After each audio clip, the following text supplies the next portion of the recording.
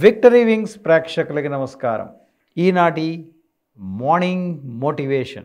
Tension tension tension. ఒకటే tension. నరాలు చిట్లిపోయేటంతగా కొన్ని సంఘటనలు మనల్ని టెన్షన్కి గురి చేస్తుంటాయి. చాలాసార్లు ఈ దడ తీవ్ర స్థాయికి చేరుకొని కాళ్ళు చేతులు వణకడం ప్రారంభిస్తాయి. ఇంకా కొన్ని సమయాల్లో మనకి రెండడుగుల దూరంలో నిలబడి ఉన్న వారికి సైతం వినబడేటంతగా మన గుండె వేగంగా కొట్టుకుంటుంది. ఏదో అవ్యక్తమైన వేదన సముద్రంలో మునిగిపోతున్నట్టుగా భయం మన హృదయాన్ని కమ్ముకుంటుంది. దీనికంతా కారణం టెన్షన్. ఆలోచించి చూస్తే అనేక సందర్భాలలో అనవసరమైన విషయాలకే టెన్షన్ పడిపోతూ ఉంటాం మనం. మచ్చుకి ఒక సంఘటన చెప్తాను. ఒక ప్రొఫెసర్ గారు ట్రాన్స్ఫర్ మీద వేరే ఊళ్ళోని కాలేజీలో చేరడానికి వెళ్తున్నాడు. అతన్ని సాగనంపడానికి అతనితో పాటు ఉద్యోగం చేసే నలుగురు ప్రొఫెసర్సు రైల్వే స్టేషన్కి వచ్చారు.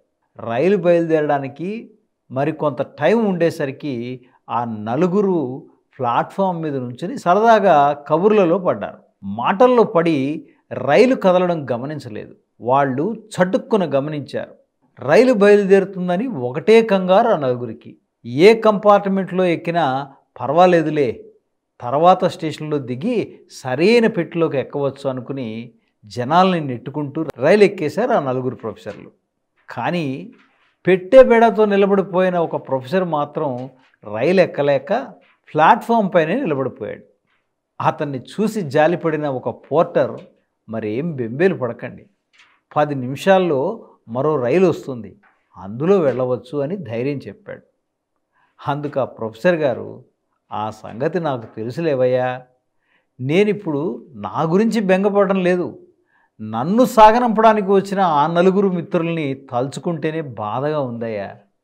ఎందుకంటే రైలు కదలగానే అనవసరంగా కంగారు పడిపోయి నాకు బదులు ఆ నలుగురు రైలు ఎక్కేశారు అన్నాడు. ఇలాగే అనవసరంగా టెన్షన్ పడడం వల్ల అసలు విషయాల్ని మనం మరిచిపోయి ఇబ్బందుల పాలవుతుంటాం.